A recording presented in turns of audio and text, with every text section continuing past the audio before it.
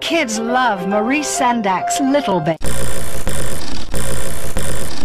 And now there's even more to love. Because Little Bear is starring in his first feature-length film. You're free.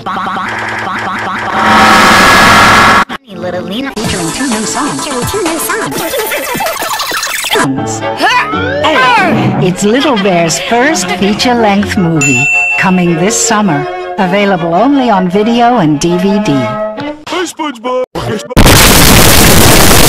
What are you doing down there? And now there's even more to love. Because Little Bear is starring in his first feature-length film.